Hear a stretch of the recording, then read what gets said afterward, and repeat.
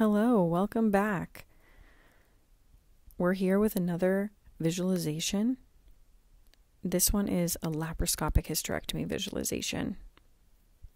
Visualization is a tool that helps you see yourself succeed and practice success. It is used by several athletes and high performers to build confidence and enhance performance. I'm going to lead you through this laparoscopic hysterectomy. I would recommend that you close your eyes, visualize each step as if you were performing the surgery.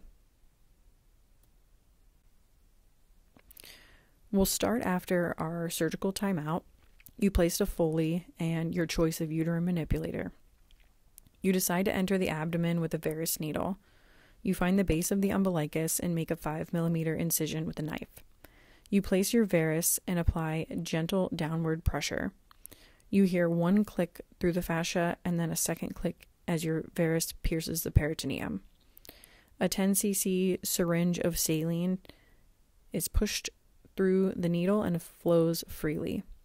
You ask for the insufflation on, and your opening pressure is 3. Once the abdomen is insufflated, you remove the Veress needle and enter with your trocar.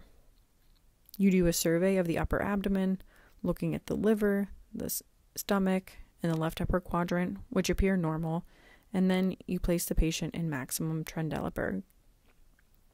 You place your other ports, and you get a clear view of the uterus and ovaries. The surgery starts with the right round ligament in this case, we will open the retroperitoneum. You grasp the round ligament and coagulate it with your LigaSure device.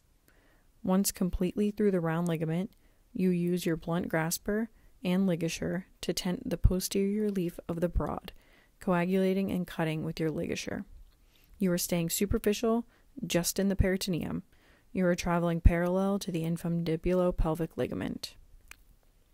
Once the posterior leaf is open, you ask your assistant to grasp the peritoneum surrounding the ovarian vessel and pull it up to the anterior abdominal wall and then towards their port on the left. By doing this, it opens the retroperitoneal space for you. You start by finding a plane where the retroperitoneal fat opens and you sweep it laterally, keeping the fat with the lateral vessels. As you do this, you find your ureter on the medial leaf of the broad ligament. You visualize it and gently dissect it out so that you can easily visualize it in the future. You then create a window in the peritoneum clear above the ureter and under the IP. You use your LigaSure to coagulate the IP and cut it, leaving more char on the stay side. You travel under the ovary with your LigaSure, coagulating and cutting in the direction of the uterus and parallel to the floor, cutting the posterior peritoneum. You repeat this process on the opposite side. You then assess the anterior leaf of the broad ligament to create the bladder flap. You start where you transected your round ligament and begin to dissect the anterior peritoneum in layers, making sure your anterior leaf is very thin you see the bladder reflection and you are aiming for this area. Your assistant may be elevating the peritoneum for you so that you can see the tissue is thin and that it is only the peritoneum you are taking as opposed to the bladder or underlying vessels. Once you have dissected the bladder to the midline, you repeat this on the opposite side. Once the bladder has been completely dissected off of the cervix, you assess the uterine arteries. You skeletonize the uterine artery and then visualize and palpate the anterior and posterior manipulator cup.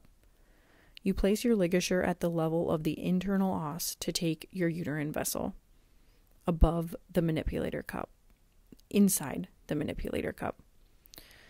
You then, once you coagulate and cut your uterine vessels, you then lateralize the uterine vessel to clear it off and lateral to the manipulator cup, staying inside the cup. Once the entire cup is cleared, you use the Bovie hook to make your colpotomy on the cup and amputate the cervix, uterus, fallopian tubes, and ovaries. This is pulled through the vagina and then passed off of the field. The vagina is then closed with your choice of suture. The end. Please leave any comments. I always appreciate feedback and would be happy to do other visualizations, so let me know what you want to hear. Have a great day.